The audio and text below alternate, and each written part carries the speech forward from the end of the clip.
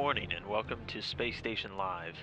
Here in the International Space Station Flight Control Room at NASA's Johnson Space Center, the Orbit 2 team currently manning consoles, uh, as you can see below you, monitoring all of the systems on board this orbiting complex.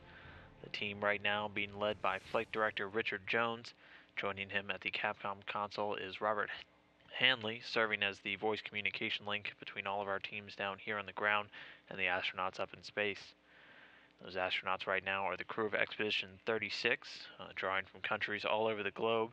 They're currently being led by Russian cosmonaut Pavel Vinogradov, a veteran space flyer on his third flight to the International Space Station. Uh, immediately behind him, you can see another Russian cosmonaut, Alexander Misurkin, a rookie space flyer, and also NASA astronaut Chris Cassidy on his second space flight. Rounding out the crew, the three newer members on board the International Space Station, our third Russian cosmonaut Fyodor Yurchikhin there in the front row on the right, and behind him from the European Space Agency, Luca Parmitano, also on his first flight, and all the way on the right there, rounding out the crew, NASA astronaut Karen Nyberg on her second. On board the International Space Station, the normal bevy of maintenance and uh, science experiment work going on. Starting off with Commander Vinogradov, who's moving throughout the Russian segment today, replacing the dust collector filters and uh, a lot of the ventilation ducts uh, on board that segment. He'll also be working with a Russian plasma experiment, uh, which was installed on the external portion of the Zvezda service module during a spacewalk back in April. He'll be activating that today.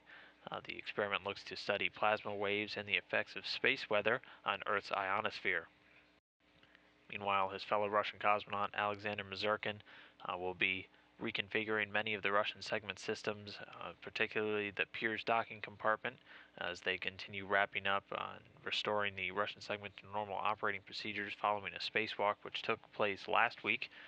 Um, you can see uh, on the back side of the station there uh, the Russian segment, uh, that Pirs docking compartment uh, that the astronauts staged uh, their EVA out of, uh, one of the only ones without a visiting vehicle currently attached.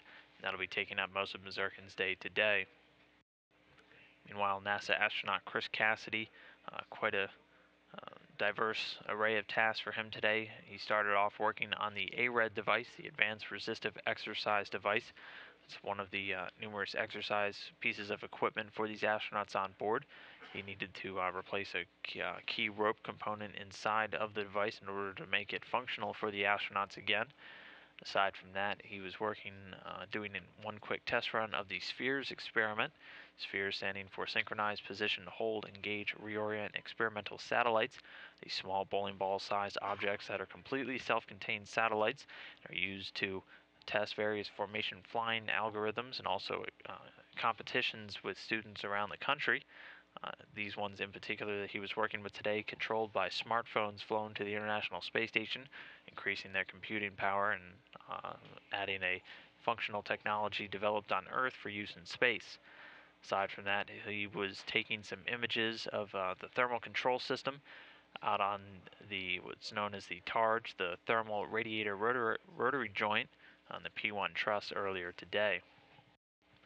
Meanwhile, our third Russian cosmonaut, uh, Fyodor Yurchikhin, started off his morning taking some saliva and blood collections. He'll be storing those in a freezer for eventual downlink back down to the ground. Aside from that, he was working on the Coulomb crystal investigation uh, that's aimed at studying the dynamics of solid dispersed environments in an inhomogeneous magnetic field in microgravity, crystal formations that can be uh, directly affected by uh, changing the magnetic field that they're exposed to.